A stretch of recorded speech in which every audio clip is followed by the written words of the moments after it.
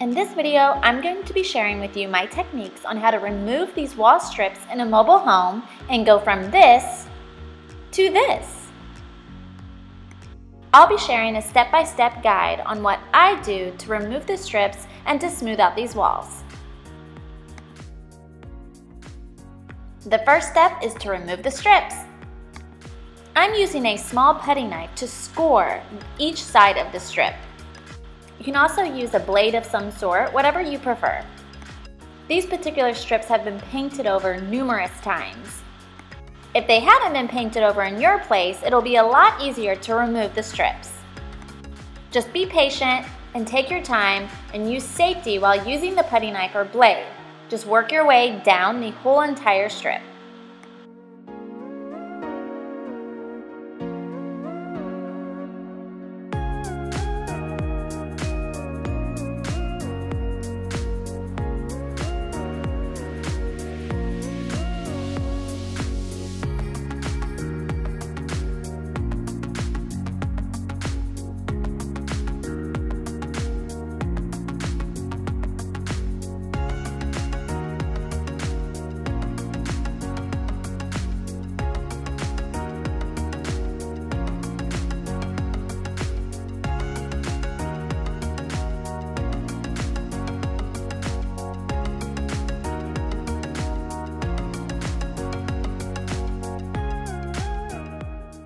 Now I will continue on to the second strip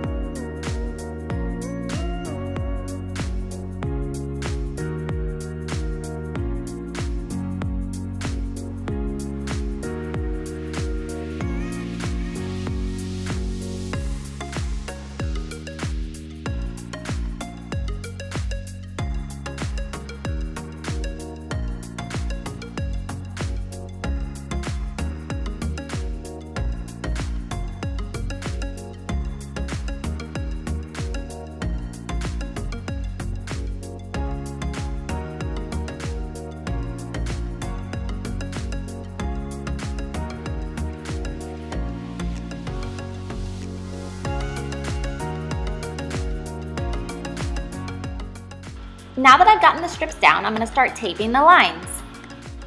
I'm using a mesh tape. I like using the mesh tape instead of the paper tape.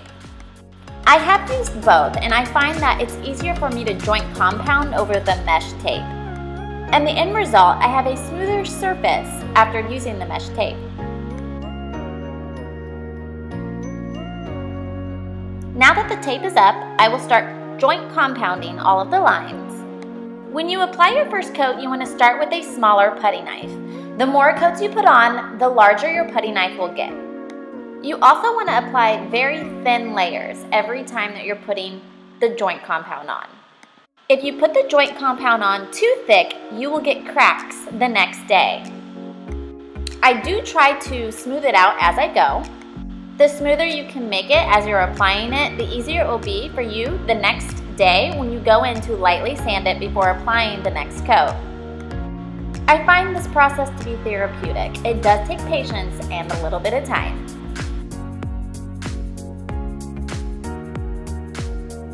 This is the second day. It has dried overnight and I'm now going to lightly sand all of the lines.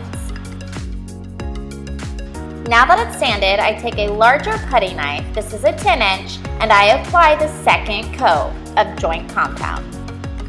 I always start at the top and work my way down, smoothing out the lines as I go. The larger the tool, the easier it is to get smooth lines. Also something I want to point out is that you go out a little wider each application. So the first line of joint compound was pretty small, and the second one here, you want to go out even wider than that line so that you are starting to form that smooth surface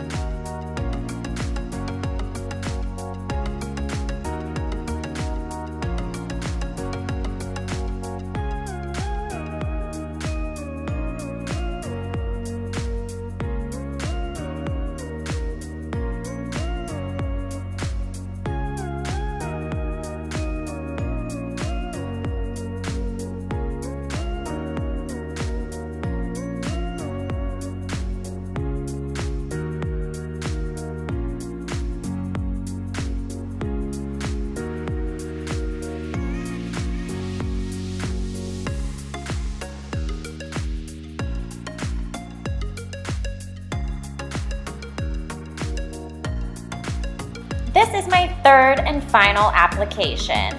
So as you can see, it goes on really smooth and you wanna keep going out a little wider with every single coat. After your last coat, you can choose to retexture the whole entire wall area. If you already have smooth walls and you can get this smooth enough to blend well, you wouldn't need to retexture everything. This is after my third application.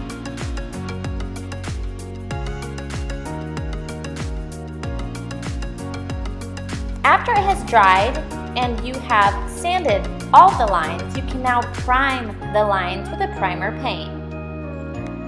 You want to use a primer before painting everything because this is new drywall. This compound will absorb any kind of paint that you put in there. I personally did three coats of the priming paint over the course of a couple of days.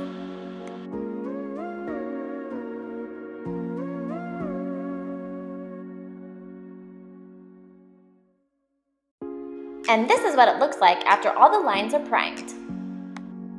This is the primer paint that I used, which I bought at Lowe's. Once you prime everything, go ahead and paint the whole entire wall. I used white, and I had to do multiple coats of white paint to cover the seams. I was happy with the result. I did end up adding some detailing halfway up the wall. With these finishing touches, this really completes a homey feel. It doesn't even feel like you're in a mobile home. I hope you enjoyed watching my process through the project. If you would, please subscribe and hit that like button.